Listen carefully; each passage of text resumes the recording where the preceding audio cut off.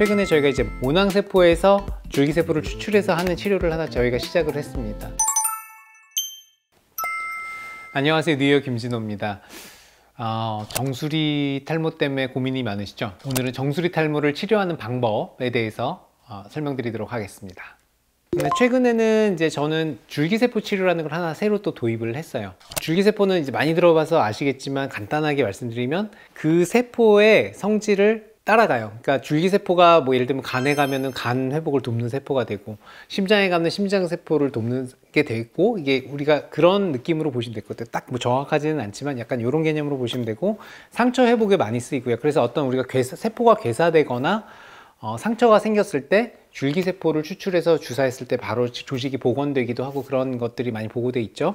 탈모 치료에도 줄기세포는 도움이 되는데 물론 이제 제품으로 나와 있는 것들도 있지만 직접 추출을 해서 우리가 환자한테 주입을 하는 게 제일 효과적인데 최근에 저희가 이제 모낭세포에서 줄기세포를 추출해서 하는 치료를 하나 저희가 시작을 했습니다. 모낭을 일부 추출을 하고요.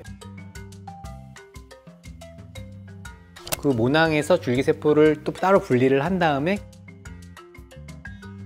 그걸 환자분들한테 주입하는 치료인데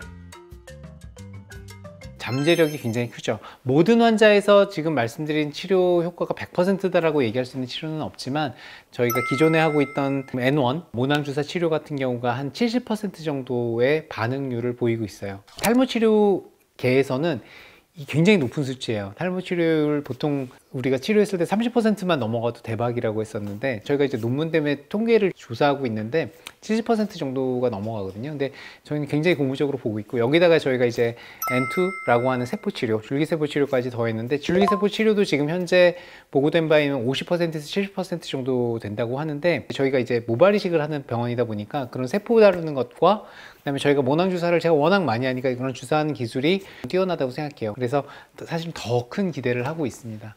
이 모낭주사 치료는 자기 머리카락을 강화시키는 치료예요. 줄기세포라는 건 약해서 모발이 가늘어지고 모발을 생산하지 않고 뿌리만 남아있는 세포들을 저희가 자극해서 내게 하는 거거든요. 모발의 회복에 포커스를 두는 거죠. 근데 그걸 굉장히 강력한 힘으로 물론 기존 치료들도 뭐 보툴리눔 톡신이라든가 아니면 그런 태반이라든가 이런 것들도 다 그런 데 관련을 하지만 줄기세포는 훨씬 더 강력한 우리가 그 힘을 갖고 있다고 보고가 돼 있거든요. 그래서 그 힘을 기대해서 저희가 강력한 회복을 어, 시도를 하려는 거고요. 이제 줄기세포 치료는 근본적인 치료를 도와주는 거기 때문에 조금 더 길게 우리가 효과를 유지할 수 있고 그래서 최소 6개월 저희가 1년을 보지만 뭐 2년, 3년 이상도 가는 게 보고돼 있거든요. 자기 세포에 대한 회복을 노리는 거기 때문에 좀 더 길게 우리가 기간을 갖도록 하고 있습니다.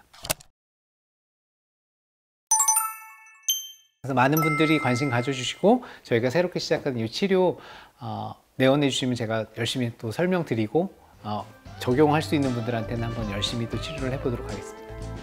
예, 감사합니다.